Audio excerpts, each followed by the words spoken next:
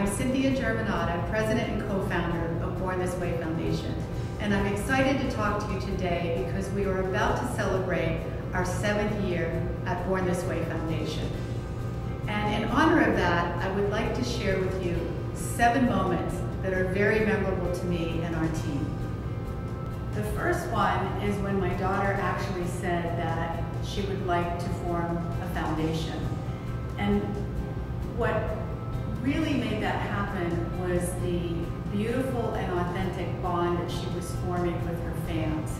My favorite part of the job is seeing how you take programs like Teen Mental Health First Aid and Channel Kindness and just run with them. It shocks me to see how supportive you all are, how willing you are to share campaigns online, how brave and vulnerable you are when you share stories of how you're being kinder to yourselves and to your communities. And I get to tweet with some of you sometimes, and the Born This Way community is just the kindest, funniest, most supportive place on the internet. It is incredible to think about all that's happened over the past seven years, and the thing that I've been reflecting on most lately is how much the conversation around mental health has changed.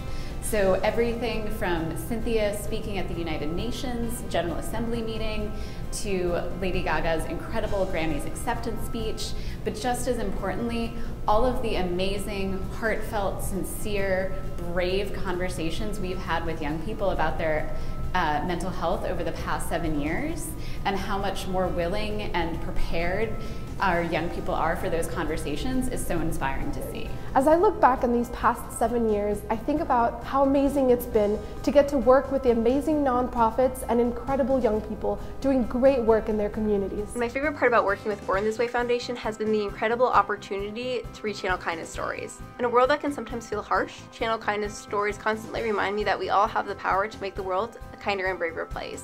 And there really is kindness everywhere you look. And if you can't find it, create it.